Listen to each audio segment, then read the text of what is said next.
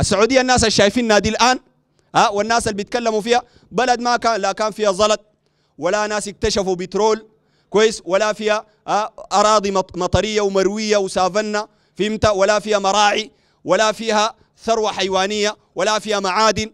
الكلام ده كله ما فيه.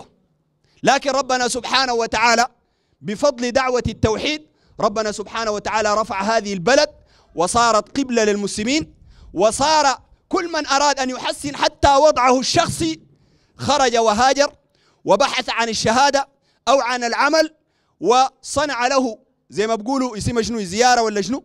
كويس؟ ومرق. ومشى يشتغل هناك. ده كله بسبب شنو؟ ده بسبب التوحيد. نحن والله في السودان ما ينقصنا إلا أن نخلص الدين والعبادة لله سبحانه وتعالى. ولا يغير ذلك إلا إنسان شاب واعي فاهم لدينه ليس إنسان بهيمي همه الكبير أن يحيا وأن يقرأ وان وأن يتخرج وأن يأكل وأن يشرب وأن ينكح وأن يلعب وأن يسمع الغناء وأن يفعل وأن يفعل. من هبو من هموم الناس الهابطة إلا من رحم الله. لكن دي أخواننا رسالة لأي زول موجود الآن يسمع هذا الكلام إنه يا أخواننا دي رسالة للناس.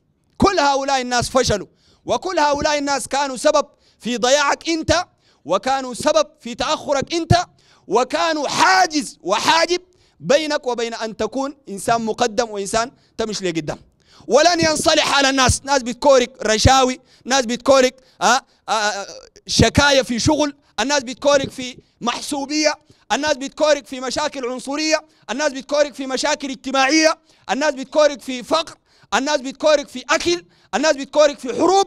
كل هذا لن ينصلح إلا بالرجوع إلى هذه الدعوة الصحيحة دعوة النبي صلى الله عليه وسلم. نريد أن نرجع بالناس إلى 1400 سنة حيث كان رسول الله صلى الله عليه وسلم.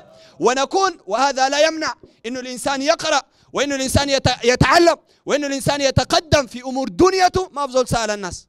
فهمت؟ عشان ما يكون الغباء بتاع التنظيمات اللي قاعد تتكلم. يجيك واحد هنا بعد نقول له الكلام ده كله يجيك مفنوس. آه أنت بتتكلم بالمايك ليه؟ عشان أنت تزعل. انت ما عارفني مين قبل قاعد انبح لشنو؟ هسه أنا جيت قلت لك قلت لك أه ما ما ما ما, ما تاخذ بسبب من اسباب تقدمك المادي. أنا جيت قلت للناس هنا يا اخواننا راح يلا امرقوا قفلوا الداخلية نقفل الجامعة. جينا دعينا الناس كده. جينا قلنا لك خليك إنسان عندك عقيدة. خليك إنسان عندك اعتزاز بدينك. وادخل إلى هذه الحياة هو الذي جعل لكم الأرض ذلولا فامشوا في مناكبها. وكلوا من رزقه وإليه النشور. هو الذي سخر لكم ما في السماوات وما في الأرض جميعا منه. قال النبي صلى الله عليه وسلم أنتم أعلم أو قال أدرى بشؤون دنياكم. أعمل في دنيتك الدائرة.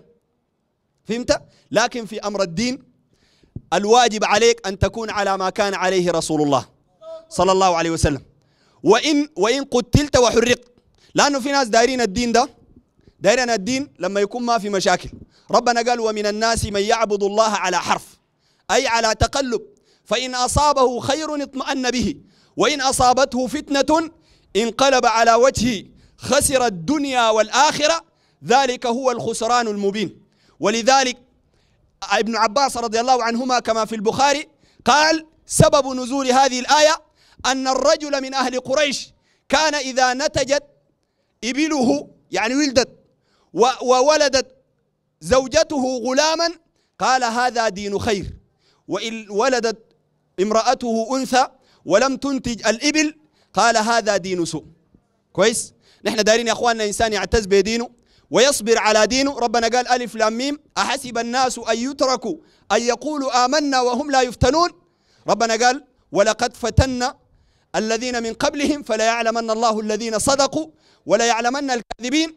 وربنا سبحانه وتعالى قال أم حسبتم أن تدخلوا الجنة ولما يعلم الله الذين جاهدوا منكم ويعلم الصابرين وربنا سبحانه وتعالى قال أم حسبتم أن تدخلوا الجنة ولما يأتكم مثل الذين خلوا من قبلكم مستهم البأساء والضراء وزلزلوا حتى يقول الرسول والذين آمنوا معه متى نصر الله. بالله شوف الأوقات الحرجة التي مر بها الرسل صلوات الله وسلامه عليهم وأنهم ما نجوا من أعداء الله ومن أعداء الأديان التي شرعها الله سبحانه وتعالى ما نجا منها خيرة الناس رسل الله.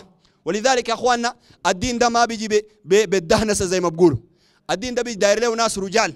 ربنا قال رجال صدقوا ما عاهدوا الله عليه. فمنهم من قضى نحبه ومنهم من ينتظر وما بدلوا تبديله. الإنسان يكون مع الدين حيثما مال به الدين يميل. الإنسان يكون مع الدين يزن به الأمور لا يزن الدين بالأمور.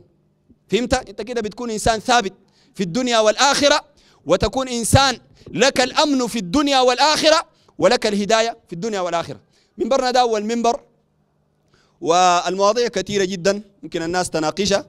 دي أهم قضية وأول قضية دارين نفتتح بها المنابر. وإن شاء الله نعد الناس إن شاء الله في مقبل الأيام ومقبل المنابر أنه ستشهد كثير من مناقشة الأفكار ومن الأحداث ومن غيرها من الأمور. ممكن نفتح آه فرصة آه إذا في إنسان داري يدخل للمداخلات أو الحوار والنقاش. صية القحطاني بالله قولوا كل ما أنشدتم رحم الإله صداك يا قحطاني